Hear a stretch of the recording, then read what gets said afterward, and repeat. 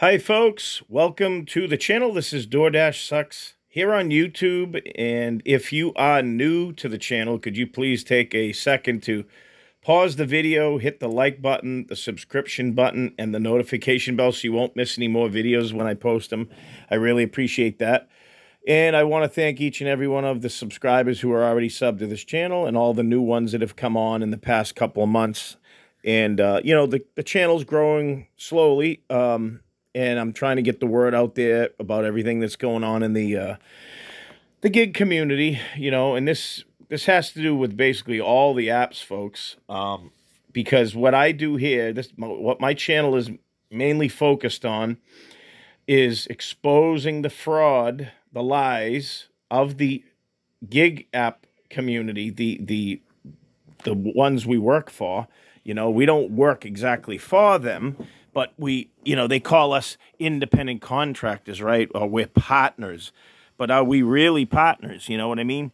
So it, it's it's all it's all legal jargon or illegal jargon to get us to just put in our minds like, oh yeah, we have some independence, you know, because we can come on, you know, yeah, we can we can pretty much dash pretty much anytime we want with a schedule for regular people, but they only really let certain things happen for people who are in a higher tier, and that's uh, higher tier um, bracket within these apps. And uh, even though, well, actually, Uber has the same thing. Uber has the blue, the gold, the diamond, the platinum, and I was all of them, folks, at one time. And when I became when I became a diamond I was able to see trip, you know, trip uh, information, and I was able to, you know, choose which ones that I wanted to take, which I didn't want to take. But it's funny how within 10 declines or 15 declines of those, it starts dropping you into another tier. And I don't know how the system is now because I haven't really, I, I do not go after that type of system, folks. I, I just don't do it. But I, I what today's video is about is really kind of letting you know what's going on the past couple days. Um, first of all, I haven't put any videos out since Friday. I have a few that I that I need to put out, but I have to like slightly edit them because uh, whatever background noise, whatever was going on in some of the videos. So I have to take my time doing that. A lot of times I record a few days in advance uh, when I have some downtime but then I get busy and then I can't upload the, the, the video. So forgive me for that. But what I want to tell you about the past couple days. So I had, you know, a lot of time to think about a lot of things. And, you know, I, I'm still going to form an alliance or some type of thing to be able to take these these uh, app companies to court, but I want to do it in a diligent, proficient way, in a way in which is going to benefit the, the, the whole community because, you know, I, obviously a couple of my um, my posts I was kind of angry in there. You know, of course I was because of what was going on with me, and I fully intend to take them to court. Uh, these app companies, the ones that are wronging me, uh, but I want to do it for the community too as well because all of you are being affected in the same ways or in similar ways and each market is a little bit different but uh, it's it's pretty much all the same, and all of the other app companies all kind of follow suit. Okay, so I don't like being an employee, and I don't really like oversight by the government or anything like that. But there has to be regulations put in place uh, because if there isn't, it's just going to go crazy the whole the whole system, and it's been going crazy. Now, what I've been seeing the past couple of days, two or three days now, is like, see, I want to ask you folks something. Do you think my my standards are too high? I mean, I'm sure some of you will say, yep, they're too high. You should just take less orders and all that. You know, I, I was cutting off a lot of one to one miles, you know, eight miles for eight dollars and things like that with one item. You know, there's there's some that I still will not take, right? But I did lower my standards a little bit over the past couple of days. And what I've noticed, and it's not like I've taken 275s and 325s, I refuse to take them. But I was taking ones that I normally like don't take, like five dollar going five dollars going two miles, which I hate them. But in a way, the system, see, the algorithm is set up in such a way that if you decline if you decline even a few orders, it starts looking around for other dashes who are higher tiers, and then it gives it gives it to them. And I'm not just talking about 50% tiers and 70% and higher. I'm talking about even if you're 30, 40, 40%. If you're a 10 percenter, which a lot of you are, and I was, and I still kind of am, but that's my problem. I was sitting around a lot, not moving, right? Now, UDM did his video series a few weeks ago, whatever, two and a half weeks ago, on the algorithm, talking about how no matter what you do, it's going to really just try to find you orders that are going to equal up to basically that $20 an hour position. And that that's usually for the ones who are regular dashes. Then you have the the top dashes, or you have the the uh, you know large order program dashers. Okay, and the thing with the large order program dashes um, is that if you have been in that program, the company is still catering to you.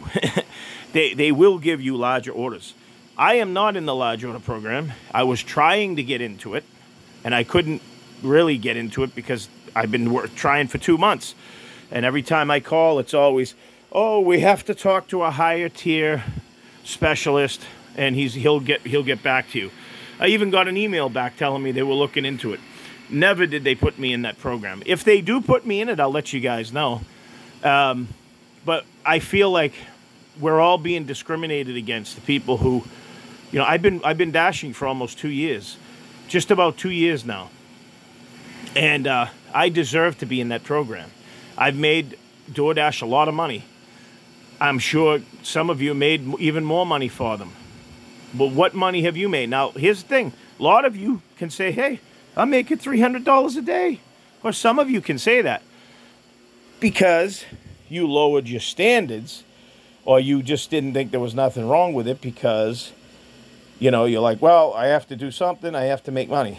Well, it's it's terrible that the system has been set up the way that it has been set up because it's designed now for that 50% and 70% tier. Now, with that said, the other night when I started dashing, I think, yeah, it was Friday night into Saturday, I decided to, I was right around, let me see, 28%. I was at 28%. And I was just barely getting orders, and I'm and I'm bumping into people going, "Hey, how much you making today?" And he's like, "Oh, 170, 150." Another guy, you know, a friend of mine, Walter, great guy. He's he's booking like two hundred and fifty dollars a day or more. But I asked him, "Are you are you a top dasher? Do you take everything?" He says, "No, I, I I'm at forty percent." But he's in the large order program. And then he says, well, you have to know which ones to take, what not to take.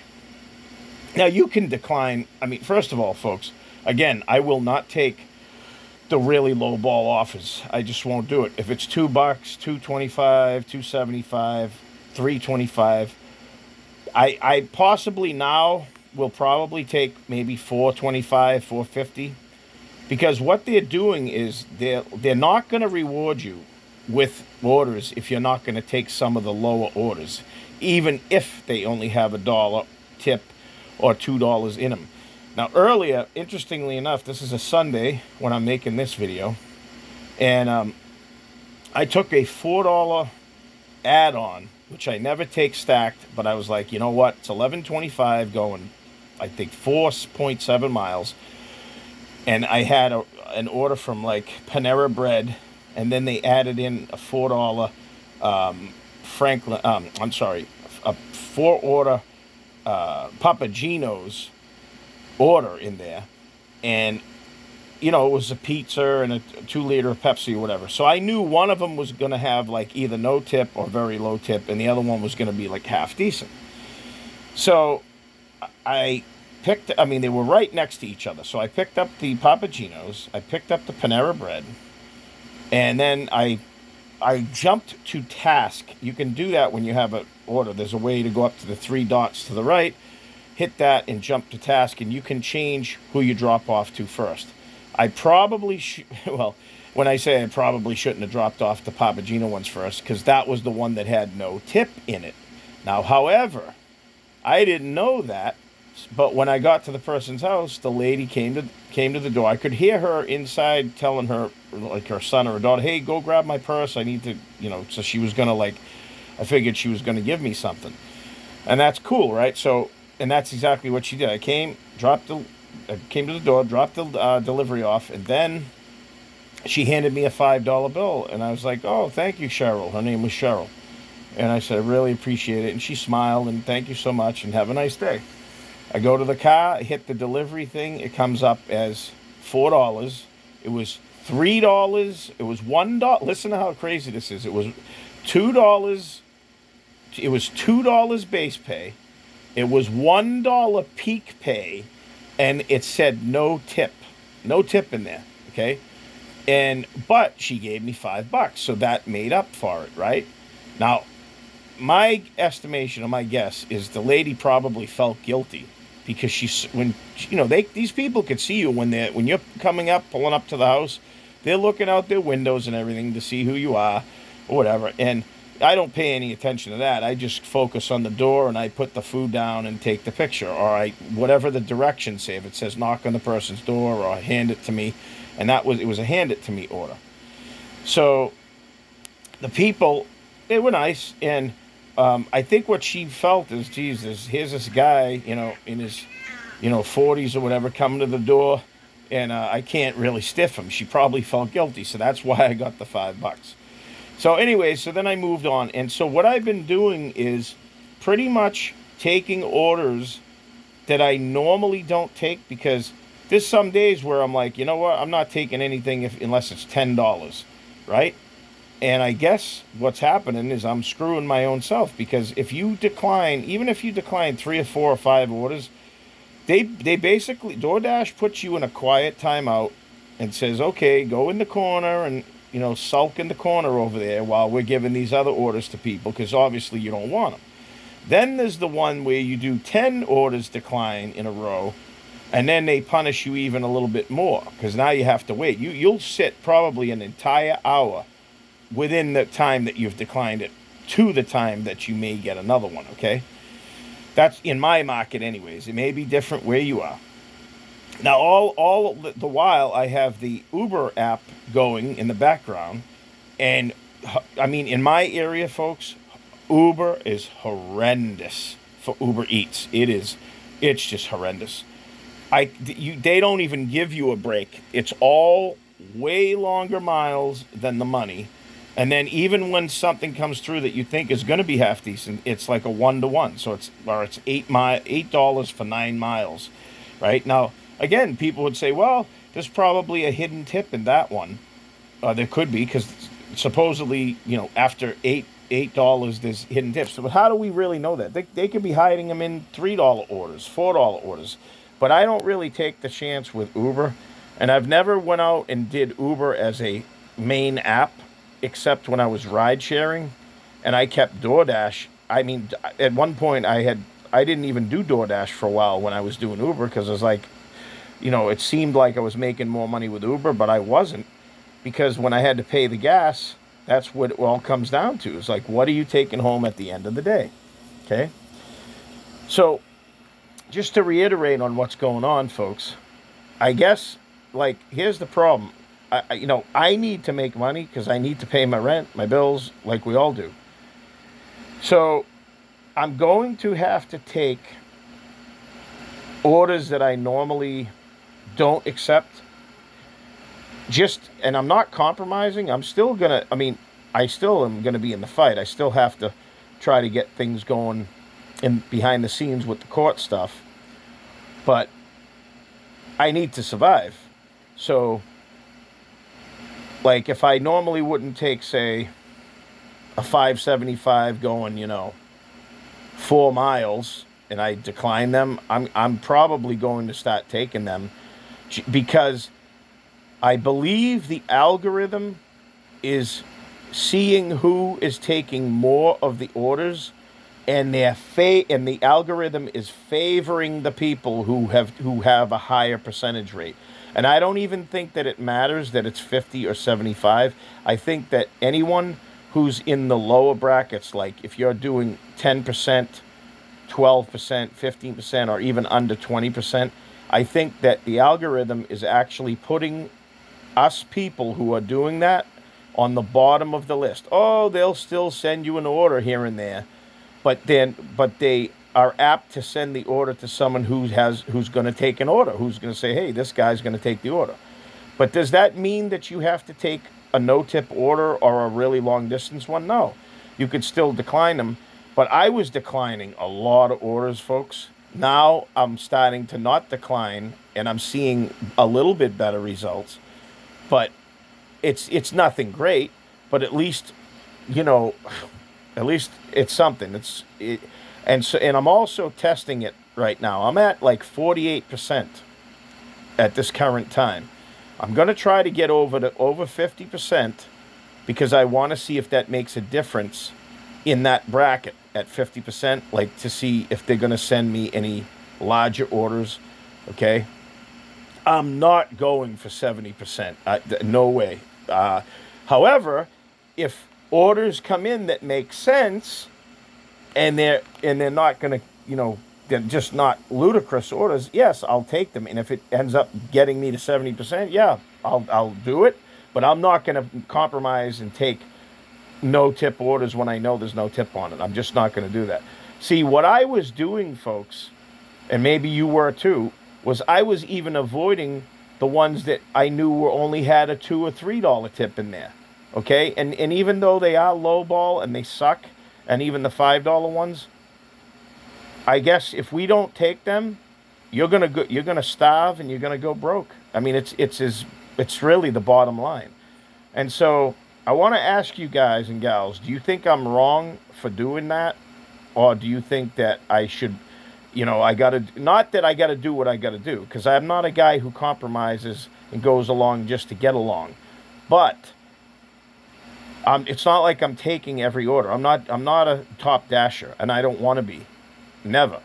Never. And most of you don't want to be, right? But am I wrong for doing what I'm telling you, or should I just kind of grin and bear it, take the ones and not be so high, super high standard like I am.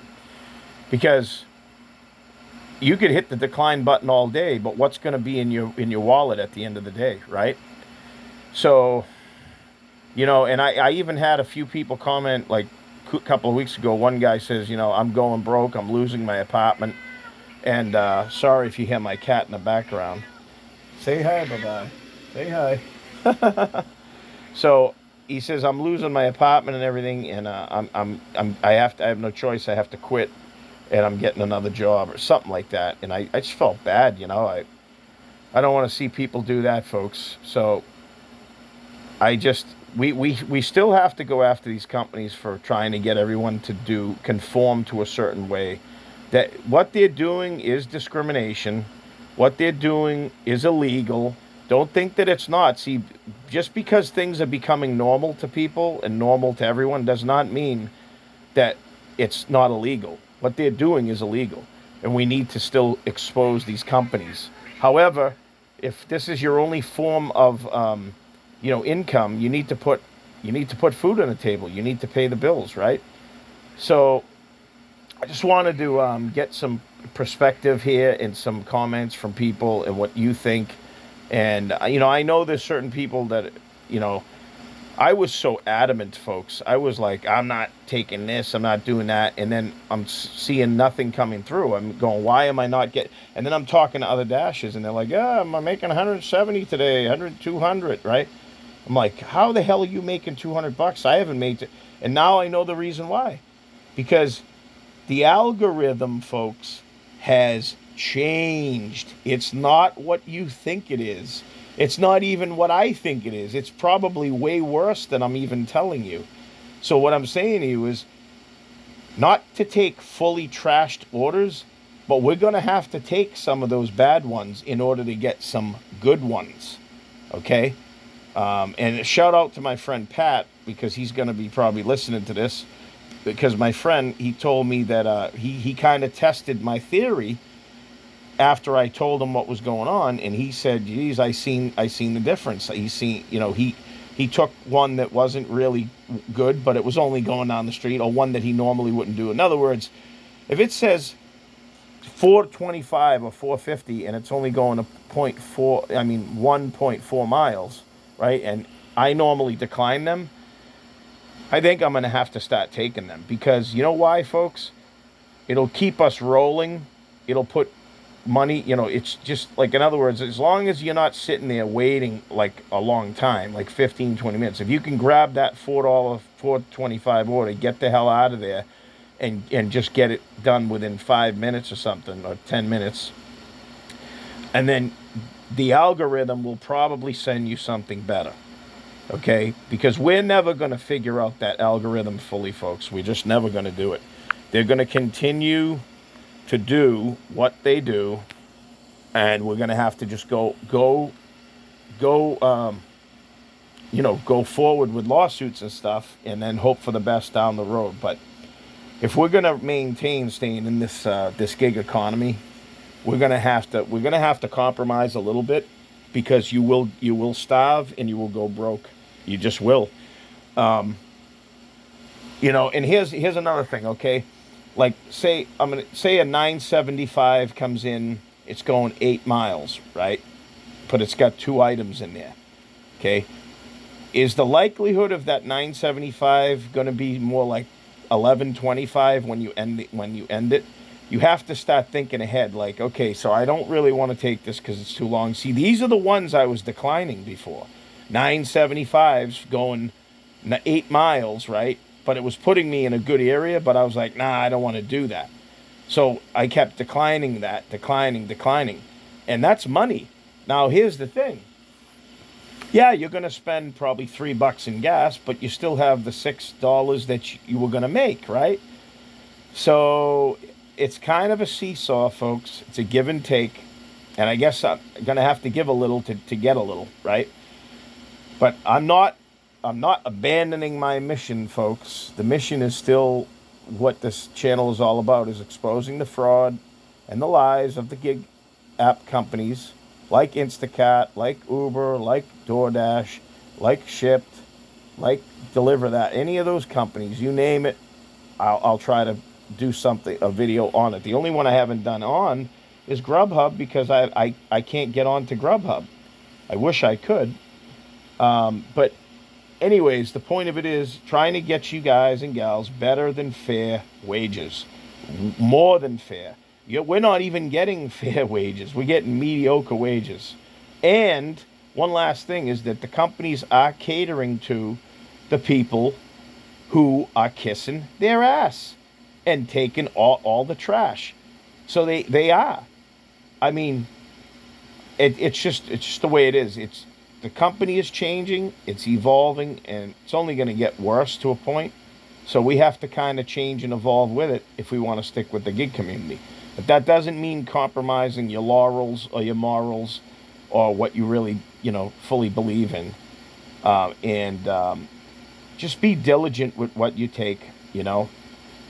And uh, that's about all I have for this video, folks. I appreciate you listening. I have other videos that I need to post that I did a few days ago, and just bear with me on it. Um, I'll try to get them up in a, in a couple of days. I'm not going to have anything up probably later tonight, but I will have something uh, possibly tomorrow. So with that said, folks, appreciate each and every one of you. Hope you write in the comments what you think. Um, and uh, I'll see you guys and gals on the next one. Take care.